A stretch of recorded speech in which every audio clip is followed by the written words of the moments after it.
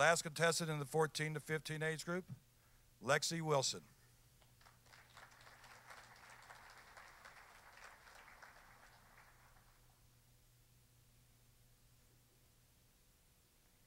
Please join me in prayer. Dear God, thank you for this opportunity to be here today. Please watch over and guide me throughout this day to be the best I can be. Amen. How did that make you feel? Were you comfortable with me praying here on this stage in front of you? Or did it make you uncomfortable?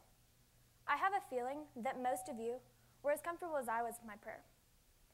I appreciated that the Eagles took the time to pray for me and the other participants before this event. Praying without being judged doesn't always happen in our schools today. Over 50 years ago, the United States Supreme Court found prayer in schools unconstitutional. Unconstitutional, meaning it is not in accordance with our United States Constitution. Yet, the United States Constitution and the Declaration of Independence are both concrete evidence that the founders of this great nation were inspired by a belief in God. The United States Supreme Court building was built in the 1930s it has engravings of Moses and the Ten Commandments. In every courtroom, a witness is asked to place a hand on the Bible and to take an oath to swear and tell the truth. So help me God. The United States Supreme Court says schools should be neutral when it comes to prayer in schools.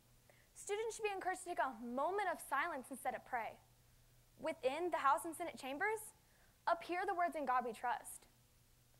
It was on my eighth grade field trip to Washington, D.C where I witnessed the word God exhibited in stone all over the monuments and buildings. The Liberty Bell has a Bible verse engraved on it. During the swearing in of every United States president, we did not take a moment of silence. We prayed together. Every president that has given an inaugural address has mentioned the word God in that speech. It is said 84% of the world population has faith. Do we really need to take a moment of silence to make that other 16% feel comfortable? I will take that moment. I will take it to make the sign of the cross. I will take it to fold my hands, and then I will pray before my lunch at school.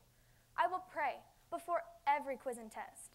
And I will pray before my softball and soccer games. Prayer will continue to be in my life, wherever and whenever I need it. I feel Dr. Martin Luther King Jr. says it best. To be Christian without prayer is no more possible than to be alive without breathing. Thank you.